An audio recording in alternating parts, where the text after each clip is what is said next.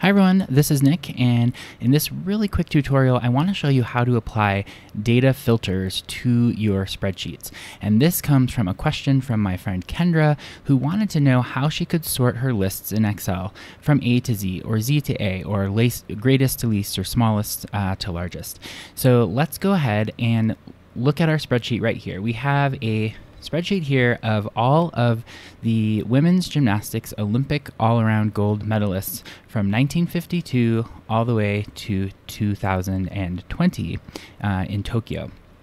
And so right here we have this list and it is sorted already nice nicely for us in this um, you know, earliest to latest sort of format. But what if I wanted to have the 2020 on the top and the 1952 on the bottom? So you can do this on any type of spreadsheet that you have uh, in Excel. And I'm just going to go ahead and maybe arrange the columns just a little bit, resize them so that they're a little bit smaller so that you can see them.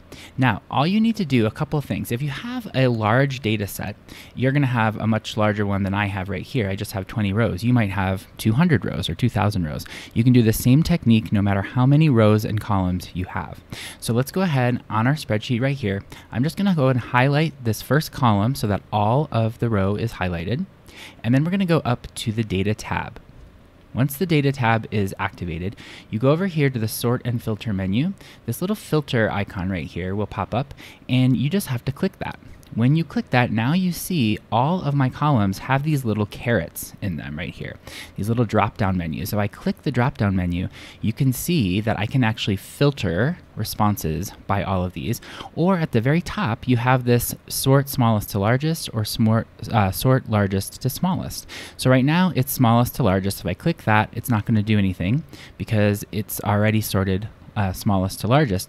But let's go ahead and click the caret again and say largest to smallest.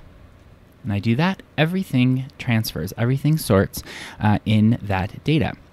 Now, if you don't want to have all of these extra carets here for the other row or for the other columns, all we need to do is click this and we're going to unapply the filters. So go back to that filter, that data tab, and the filter, just unclick it.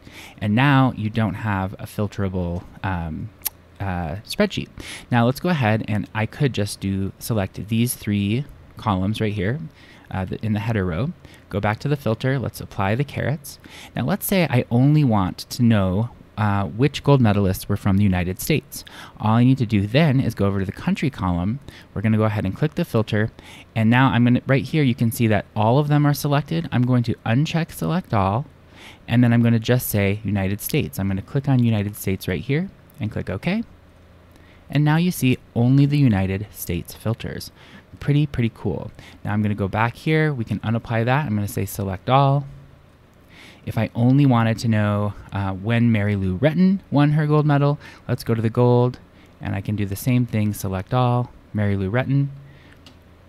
And now I just have Mary Lou Retton in that spreadsheet. Pretty, pretty cool. All right, I'm going to go back and unselect all of these. Let's go ahead. If I wanted to sort by city, by, by city alphabetically, we could say A to Z.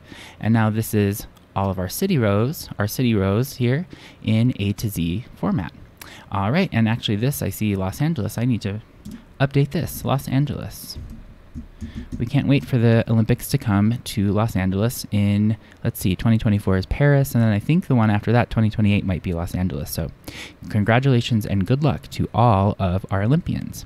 If you like this video, I hope you will give it a thumbs up and make sure to subscribe to my channel. Every time I post a new video in data design, uh, usually Excel, PowerPoint, or Word tutorials, you'll get notified every time a new video drops. I had a great time making this for you, and Kendra, I hope this helps. I can't wait to see you all next time.